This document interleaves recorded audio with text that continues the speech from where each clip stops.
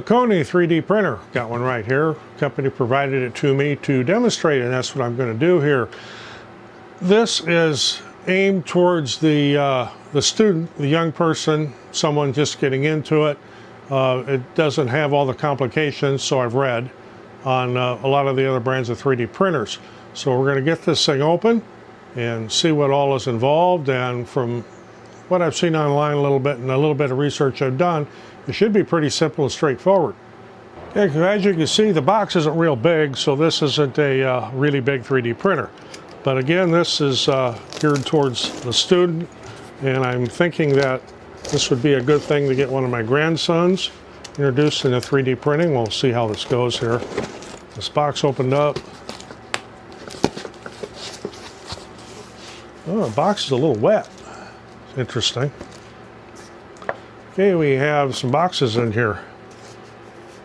Filament, it says on it. And then the printer itself is, as you can see there, it's wrapped up in plastic. It's a good thing. I don't know why this box is wet. It's not like it's rained. So we get rid of this. And then figure out where to cut the tape at. So inside this bag we have another box. This thing's getting smaller and smaller. But again, it's not made for the big production runs, you know, like my other three, bigger 3D printers. This is again aimed towards the beginner, student, child. By child, I don't mean a three-year-old. I mean, it's got to be old enough to understand what's going on.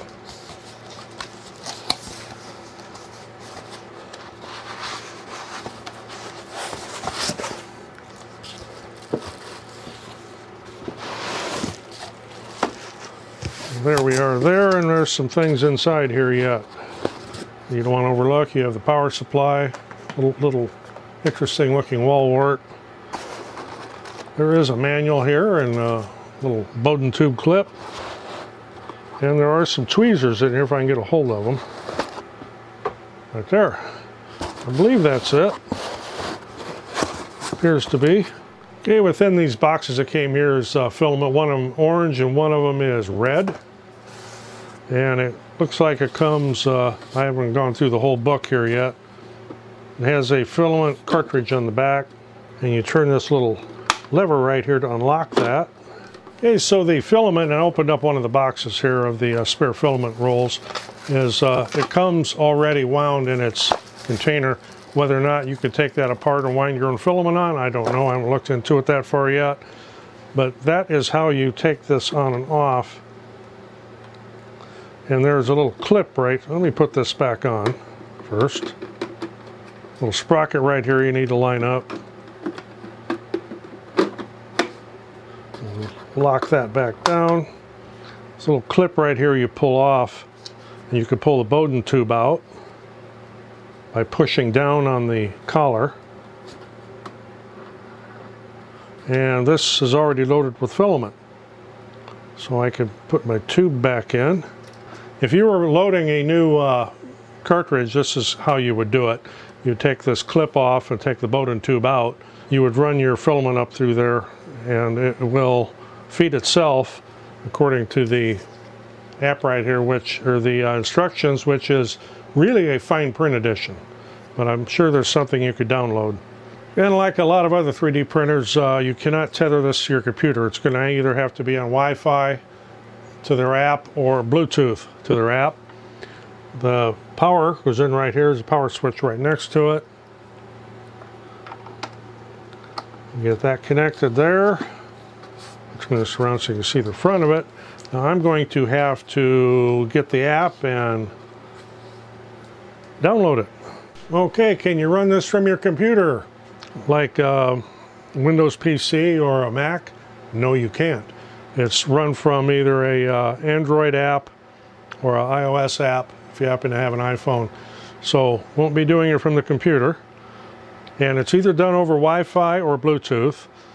And I have my phone tethered to the charger. It's about dead. I hate doing things on my phone. But this is what we're going to have to do here. So I went to the Play Store and brought up the Kokoni 3D app And underneath the app, I don't know, you probably can't see that over there, but everything's in Chinese. So hopefully the uh, app itself is in English, hopefully. So we'll get this loaded up. And this does have a little startup thing it needs to go through, so I guess I'll turn it on and let it go through its little startup routine. Okay, I'll open the app here. Got to agree to their terms, of course. Now I need to click to connect a printer. And I have to register. So you go to the login register page, a little thing at the bottom says account. Okay, my device says email login. I'll put me an email in there and a password of some kind. That little thing here you have to agree to accept by the user agreement, etc. Incorrect email or password. I hate this stuff.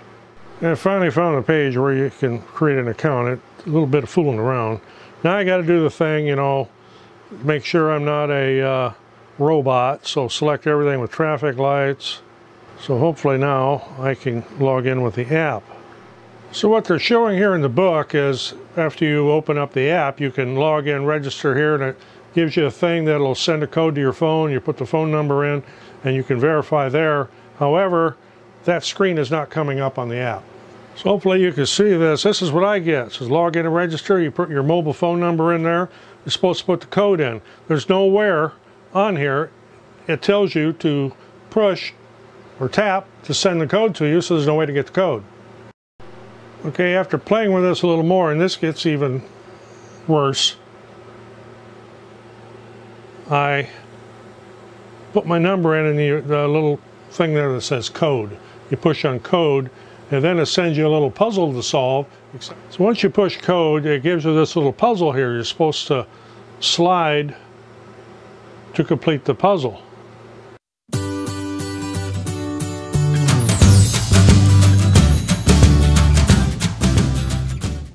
Okay, I had to move operations here because uh, the Wi-Fi I have out in the shop is 5G. And this will not connect to 5G. It's got to be 2.4. So I moved it in here, connected everything through the phone. It, it, was very, very simple. Everything connected right up. I did a sample print here. That's these little filament clips. I've already taken them loose from the bed. Uh, this thing is extremely easy to use. Uh, you don't really need any skill at all. So what I'm going to do here next is load another model and uh, you can watch it print. Okay, I don't know how well things are going to show down here, but I don't know if you can see that on my phone or not there. The little guy on the bottom left corner right there, the Rocket Dwarf. That's what I'm going to load up to print.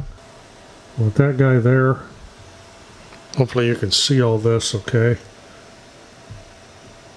So we're going to print that.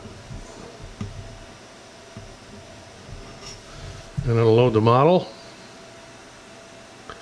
And it's in two pieces here as you can see. Hopefully you can see.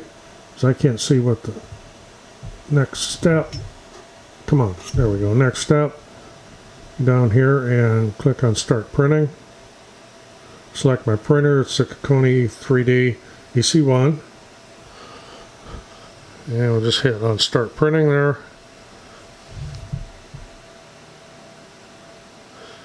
and it will preheat the bed and do all that kind of good stuff. Okay, this will run through a process. Uh, right now it's checking the device status, validates the 3D model, checking the uh, filament surplus, and now it's preheating. So the bed will need to preheat before it can start printing. Okay, what it's doing now is homing. It is preheated. And you can watch the status of uh, everything it's doing on your phone or your tablet, depending on which you're using.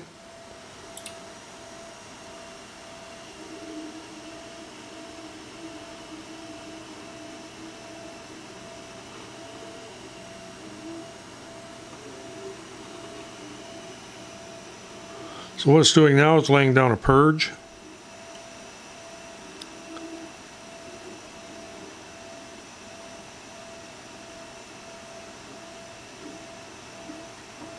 And of course you don't want to sit here while they and try to watch this whole thing print. So we'll uh, be checking back on it from time to time.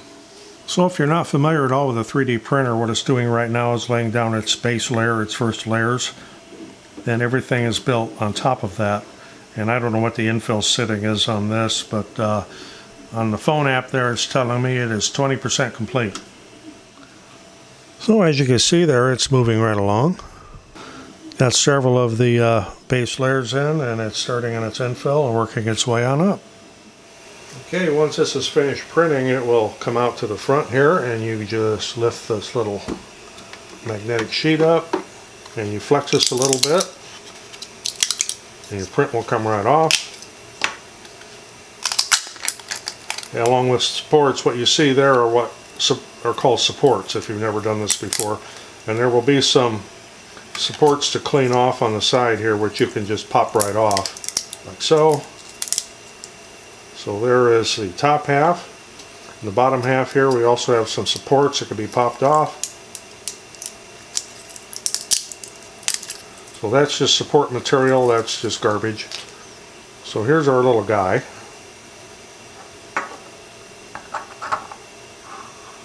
Right there. And when you're done with this, just clean the sheet off here.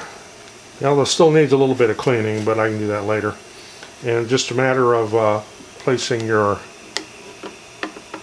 PEI sheet back in, a little magnet holds it down and you are ready for the next project. So, who is this for? This is for the youth that's wanting to get into this. Uh, it, would be a great thing, I suppose, if someone was maybe eight years old and up, they would understand this, or of course any child that's good with their phone, you know how kids are with their phones anymore. If you're uh, very adept at using a smartphone, uh, you'll be able to use this real easy. Uh, is it for like a commercial production like what I do up in our loft? Uh, no, it isn't. Uh, it's not made for that. It's has a, uh, I think the working area in this is a 101 millimeter square, which would be way too small for uh, some of the things I produce and things that we sell. However, if you're into making uh, maybe small game pieces like for Dungeons and Dragons or something like that, yeah, this would be ideal. It's not real fast but it doesn't need to be real fast. It's also not real expensive. And that is a major drawback with some of the bigger 3D printers. Uh, you're going to get into spending a lot of money. And again, if you're just starting out and you're not real mechanical, there is literally no assembly to do here. You take it out of the box, you scan the QR code on the top here. I had to fumble around a little bit uh, out in the shop because I didn't have the right kind of Wi-Fi out there. I got 5G out there and it's will not connect to that. It's only 2.4G. But otherwise, this performs very, very well. Um, and it takes a very little space. Uh, I'm sitting down here. This is where my sewing machine is located and my sewing tables and so on. And although it is a commercial machine and bigger than a home machine would be, uh, this table is sitting on is not really all that big. And you can see this is a very, very small footprint. So you can very easily have this on a desk or nightstand.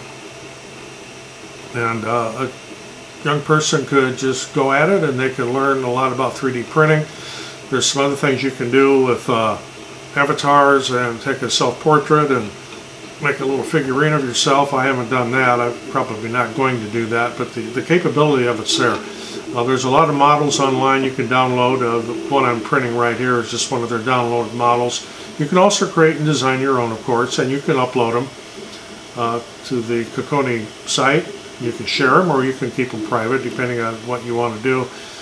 Uh, again, it does require a smartphone, either uh, Android or iOS, Apple, and no, you cannot run it off your computer. So is there any downsides to this printer? Well, you've got the, the small workspace, but again, for youth learning, that's fine. It's not real, real fast. That's, again, that's fine. You're learning. Learn a reasonable pace. Uh, something I don't like, and that's probably because I'm old, is I do not like doing things off my phone. I don't really even like taking phone calls, much less running apps off the phone, although this did work pretty well. Once I got through the little bit of the wireless connection out there and getting into the right uh, Wi-Fi. That's why we're located down here. Uh, other than that, um, I don't really have any complaints on it. Uh, again, I prefer to do things off my computer. I, I prefer to work from Cura. Uh, this does have, it looks, uh, proprietary filament holders. Whether or not you could take one of those apart and wind your own filament on it, I don't know. It's got 1.75 millimeter filament, so uh, the big spools of filament you would buy for a conventional FDM printer would fit if you could wind it on there. I didn't take one of these apart. I, I'm going to. This is going to be destined for one of my grandsons. He's uh, shown an interest in learning how to use a 3D printer getting into this 3D printing, and he's a young guy. So this should be right up his alley, and I know he's into a lot of the different types of gaming and things, so I think it'll work out well for him. If uh, you'd like to get one of these, I'll put a link in the description. I'm sure they would be more than happy to sell sell you one, send one out to you. Uh, this was provided to me by Kokoni, again, to test demonstrate. Uh, again, the, there's no assembly at all to this. It's just extremely simple. I did, uh, the first print, print a couple of little uh, filament clips just as a quick thing to try out. The little bed in here, it's, it's a magnetic PEI bed. You can lift up the front of it, take it out, flex it a little bit, your print will come right off. This has had excellent print adhesion. I haven't seen anything shifting or moving. Um, I'm looking at the infill on this model here. It's got some pretty good infill, so this particular model is going to take a while to print. But otherwise, neat little printer, kind of nifty little thing. And maybe if you're an adult and you've got a corporate office and you just want a little distraction, something to set on the corner of your desk, there you go, you could use something like that. You got anything out of this, appreciate getting a thumbs up. Always helps the channel. Roger, not in the shop obviously. Might even sew something while I'm down here. Thanks for watching. We'll see you in the next one.